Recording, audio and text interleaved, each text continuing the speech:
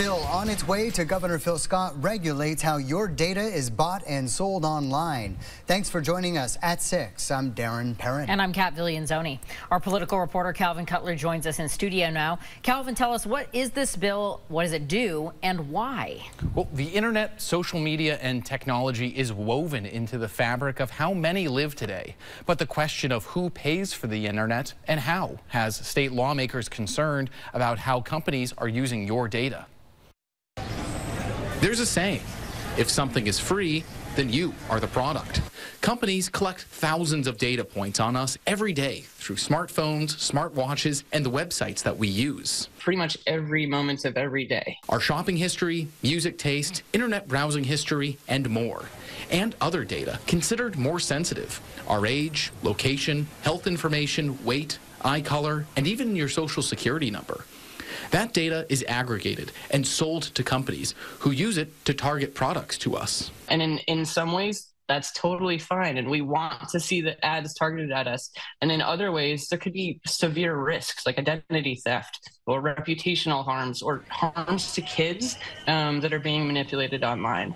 Vermont's Attorney General, who is also suing social media company Meta, says privacy is about having the ability to control what others know about us. When you translate that ethos of privacy into our modern world, which is so largely lived online, what that comes down to is data privacy. A bill passed on the final day of the legislative session, regarded as one of the strongest in the country, bans the sale of Vermonters' social security numbers and financial and medical information. And it would allow Vermonters to sue companies that break state regulations. But that has some companies, like the Vermont Country Store, concerned.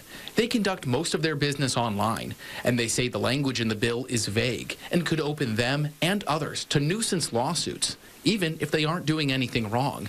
And that piece really encourages uh, lawyers and unscrupulous lawyers uh, to go after businesses for money. Uh, I like the idea of having the attorney general encourage compliance through action. Governor Phil Scott has similar concerns of impacts on merchants. Small businesses have enough to take care of um, without adding uh, to their their burden. They're going to have a hard enough time figuring out how to pay their property taxes. Now, this bill also includes new rules for social media companies aimed at protecting kids online, taking aim at algorithms that keep people in front of screens for hours. Reporting in studio, Calvin Cutler, Channel 3 News.